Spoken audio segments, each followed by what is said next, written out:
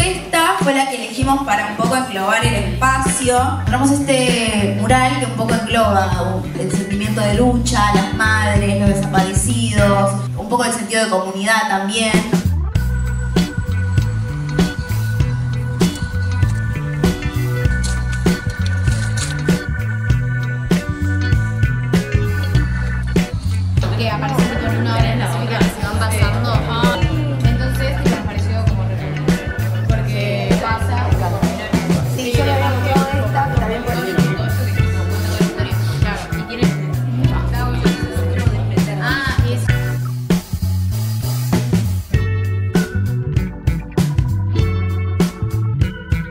Habló un poco mi grupo de esto de pasar más allá de dar, de información, que es pasar la información por el cuerpo también. Esa pesadez que surge ahí adentro leyendo la, la información que te brindan es muy importante y pasarla por el cuerpo es también una manera de informarse que está buenísima y que hay que aprovecharla, así que vayan.